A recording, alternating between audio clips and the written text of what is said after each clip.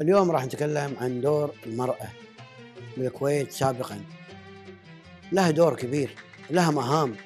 المرأة كأنها أول مدرسة. يعني ما شاء الله كأنها جامعة والبيت الجامعة وهي الدكتورة. كل شيء عندها.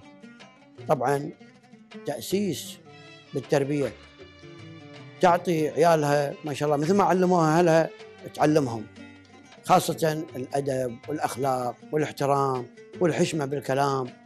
يعني في أمور كثيرة تعلمهم. تعلم صغيرة على شلون تحترم إخوانها شلون تحترم أبوها أمها لأن باكر هذه بتروح بيت زوجها إلا عندها كل هالمعلومات هذه اللي تعلمتها من أمها وأبوها سواء يعني علوم زينة آه، إن شاء الله كلها زينة. ويقولون عن البنت أن هذه آه، عشان يقولون عن البنت هذه أنها سنعة نشمية على أمها. أول يعني لا يخطبون يدورون واحدة السنعة اللي تعرف كل شيء من طباخ. من احترام من يعني عليها أدوار الطباخ وهذا وشلون تربية الولد. تعلم باخوانها علشان باكر يجونها عيال اللي تعرف شلون يعني تلبسهم شلون يعني أمور كثيرة. شلون توكل ياهل متى تعرف له صاح فيه ولا هذا أمراضه شغله. هذه كلها طبعا آه، مسؤولية المرأة الكويتية. طبعا المراه الكويتيه ما شاء الله آه، عندها سنع بالبيت البيت ترتيب ونظافة بالبيت حتى ريحة البيت بعد الشغل والتعب تبخر البيت تعطر البيت عندها يعني ما شاء الله يعني آه، آه، البخور على الرشوش هذا الماي ورد وغيره وعارف البيت وعارفين متى يجي أبوهم شلون يحترمونه معودة الاهال إن لا أبوكم لا يحد يطلع أي صوت جاي تعبان. يكد عليكم. يعني لا تطلعون أي ولا تناجر الرجال ولا يعني لو انه تبي منه شيء وصارت أي مشكلة تنطره لين يرتاح ويتغدى. بعدين آه، تسولف وياه على شاي العصر. يعني في أمور في طبعا في أوقات متى تتكلم متى آه، يعني تبدي بالكلام خاصه شيء زين ولا شيء مو زين. كله تخليه على آخر شيء عندك شيء زين؟ تقولينه ما عندك شيء زين تأجلينه. آه، ولا خاصة يعني اليهال وحريصة على عيالها وبناتها من العبث بالبيت بأي شيء تحافظ عليهم. بعدين الولد أول يحترم. وإذا حتى هي تقول أحترم إخوانك. يعني حتى بالجلوس مع إخوانه تقول تسنعي قعدي عدل ترى إخوانك أخوك آه، دش. خلاص قعدي هذا. وتعلمها على شلون تحب بنات جيرانها. ولا يصير عندهم ولا تسمع كلام الكبار. ما تقعد مع الكبار وتسمع وتنقل الكلام. ولا تتكلم عن أمور البيت حق جيرانها. حتى البنت الصغيره تعلمها؟ من من الصغر شلون تتعلم الخياطة شلون تتعلم آه، غسيل الماعين الأواني شلون تطبخ. تطاول أمها وهي صغيرة. تعطيها الماعون تقول لها تودي حطي برا اشفيه على الكرفاجة اللي برا ولا هذا ولا على الدرج عشان الماي يطلع منه. يعني في أمور كثيرة تعلمها الصلاة. إن شاء الله نكمل بعد الفاصل هذا ونلقاكم إن شاء الله. حياكم الله.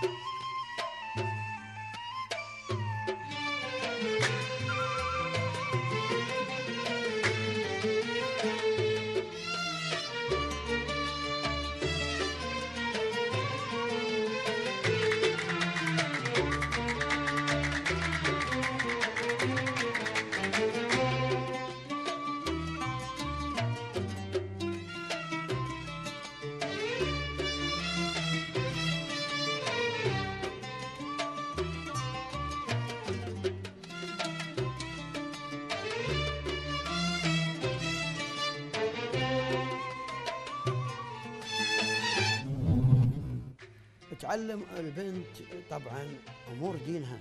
يعني في أشياء تحصل على النساء الام تعلم. تعلمها متى؟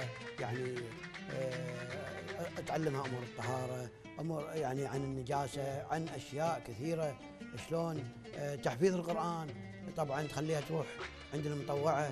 هي تعلم والمطوعة تعلم. أول المطوعات مو بس تعليم قراءة القرآن ولا حفظ القرآن هم عندهم وحدة. آه، اللي يسمونه التدبير المنزلي اقتصاد منزلي.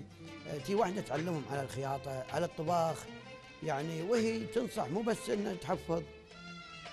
يعلمونهم مبادئ القراءة والكتابة والحساب خاصة الصبيان حتى الصبي تحرصه تقول له شوف تعلم يلا اليوم عندك كذي تروح تسوي.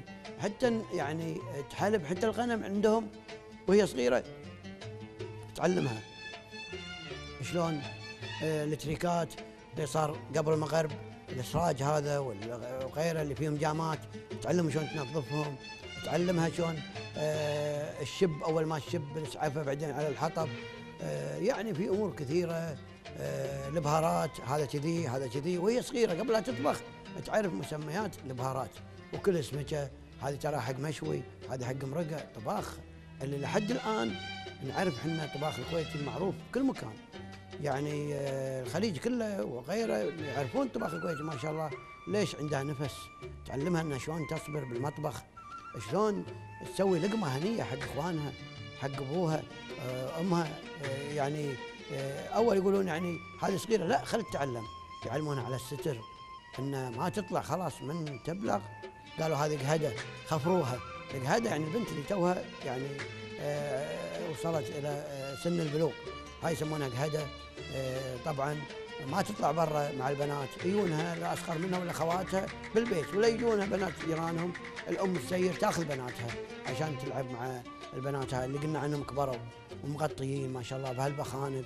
إيش حلوهم يلعبوا اللي يحازونهم بقصص فيها خير فيها دين. يحازونهم ألغازهم شغلهم كلماتهم كلها يعني كلمات ما شاء الله يعلمونهم على آه، السنة على الأمثلة. اللي تعطي عن يعني السنع وعلى يعني آه، الأخلاق ويعطونهم. يعني ما شاء الله الأم تخرج هالبنات هذه تخرجهم كانهم متخرجين من مدرسة خاصة البنت إذا قامت تقرأ وحافظة تعلم إخوانها الصغار باكر تنفع عيالها حتى عيالها. آه، الصلاة إمتى الصلاة إمتى ما اعطيت الصلاة إمتى يعني دائما يحثون عيالهم إنه يلا قوم روح حق آه، أبوك بالمسجد ولا روح صل ولا هذا ويعلمونهم شلون إنه يواصلون ربع أبوهم خاصة إذا الأبو توفى ولا هذا يقول له يلا روح ديوانيه أبوك خلي يشوفونك آه، الجماعه بالمناسبات برمضان بالعيد يمر على الناس هذا لازم تواصل حتى يعني آه، المتوفين تروح آه، يعلمونهم على يعني صلة الرحم يروحون حق خالاتهم عماتهم لازم يعلمون اياها هو صغير وإذا تعلموا صغير يعلم عياله.